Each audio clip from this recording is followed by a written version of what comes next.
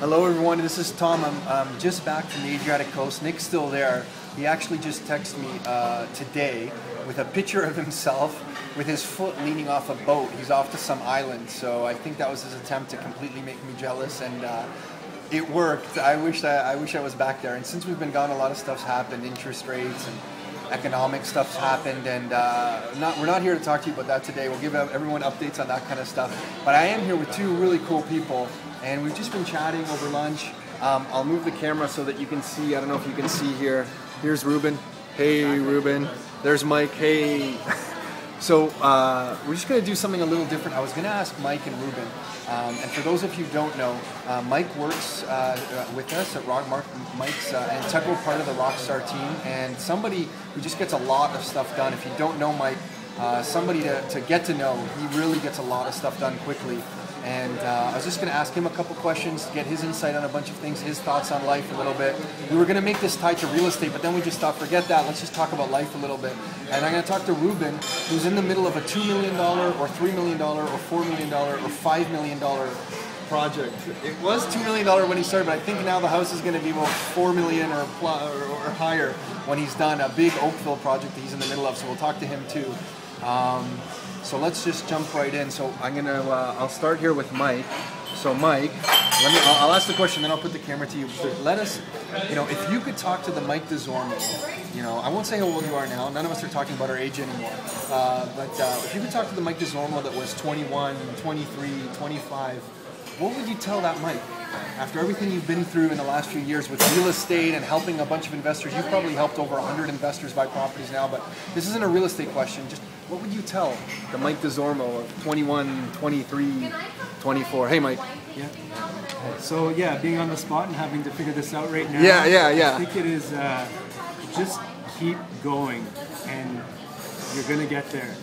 And uh, one of the good books that I've read is that 80-20 rule by uh, I think it's uh, I forget as well the Italian uh, yeah. economist. Yeah. But it's that 80% uh, um, which is futile, but you've got to get through that 80% to get the, to get to your final result, which is that last 20%. It's like much like it was funny. I had a guy ask me today. Um, he said, "You're working out still," and I said, "Actually, no, I haven't had time, and uh, I've been dabbling in it here and there." But he's known me since my childhood, and uh, he said he can't gain muscle. And uh, I said, "You know what? Are you lifting enough weight?" And uh, he said, "No." And I said, "That's exactly it. Those first eight reps that you do mean nothing." It's those last two, the, that final two, that that finish line that, that uh, get you the results. And that's the same in real estate. With investors filling properties, for instance, you know, it may take a bit of time, but you got to keep following the steps and you'll get there. Every house is filled. There's a great story at the end of that. So I guess it is just keep going. You'll get there. And, it, and do you think the Mike DeZormo of 21 years old did he give up on stuff too early, or did you push no. through there? Push Were you through. always pushing through, even at that age? Always pushing through it. Yeah. But it, it's so hard because you got to get past that 80% of, of those efforts that you've done to finally gain and, and, and and do you? I'm really putting you on the spot here. Yeah. Do you have an example? Because you've been through a lot in your life of like when you were younger that you almost gave up on something, or you did give up that you wish you you, you hadn't. No, no, always follow through. You've always been like that. Yeah. I don't know how you're built that way. but we're all envious. We're all envious, Mike. Thanks, thanks. Okay, cool. Very good. Where's my thumbs up? There we go. okay, so we'll, we'll, we'll switch over to Ruben. So Ruben, same question to you. You know, if you could talk to the Ruben that was 21 years old, 23 years old, I don't know, a time in your life, what would the Ruben today? You're in the middle of this monster build in Oakville. With it, it's had a few challenges. What would the Ruben today tell the Ruben uh, back then? Can you uh, give us give us some thoughts? Yeah, definitely. Um, I, I, think the one thing I would I would say would be that really you have to believe in what you're capable of. I think a lot of times we don't live up to our true potential. Um, a case in point, if you uh, if you look at what you're capable of doing in a matter of hours in a matter of days versus what you typically do in a matter of weeks in a matter of months. And I'll give you an example.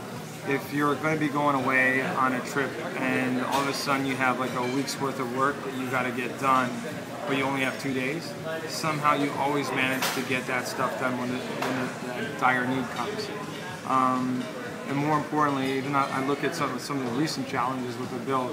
It's I, I typically take something on with this belief that you know what I'm gonna I'm gonna accomplish it anyway, um, even though if I don't have all the answers at that point in time, um, you really need to believe that it will work out because if you have to absolutely find a way, um, if, and I, I, I use Is, is that what you've been doing with this property that you're in the middle of? You've been absolutely having to find a way. Yeah, you know what? It's, it's, you put yourself where your back's up against the wall that you don't really don't have any other options, and you just say, well, you know what? I'm gonna bite the bullet. And I'm So gonna, you've never built a four million, five million, whatever this. I don't even know. I'm Yeah. throwing numbers out there. You've never built a four million dollar no, house not at all. before. And then you got to remember, you know what? I didn't come from a position where I had the, the financial resource to do it, but yet, you know what? I just said I'm going to take it on and I'll, I'll make it happen. And uh, here we are now at the final stages. It's all done, and it, um, it's cost a little bit more than I thought, but it's also worth a lot more than I ever imagined. So um, it's it, it's great. And uh, if I was going to tell that that Ruben like you know 30 years uh, 30 years ago, right? That would have been like some 20 some odd years old. I would just tell him. Um, you know, it's important that, that that fear is going to keep you on the straight and narrow, but don't let it inhibit you. You're going to do well, and uh, you know the best is yet to come. So that's what I tell them. Cool, thank you, Ruben. That was very, uh, very nice. I'm trying to give you the thumbs up there. So you know what I want to add for, for those of you you know who are maybe just uh, meeting Mike and Ruben now. They're very they're so humble. They're uh, they, they get so much done, and I was just explaining to them that something I've recently observed with, with people is we get asked a lot of what's the number one secret to real estate success or you know getting stuff done? What's the number one secret? And i've found that people like mike desormo and ruben furtado who get a lot of stuff done. And a lot of people that, that we're surrounded with who are just really you know accomplish a lot um, the biggest thing that they, they get done uh, the biggest thing that uh, that i can attribute to their success is not knowing the right thing to do not knowing the right people. Um, it's their energy level. They have a super high energy level. You know if you talk to ruben he didn't tell you but ruben will get up bright and early in the morning. He'll work to the wee hours of the morning.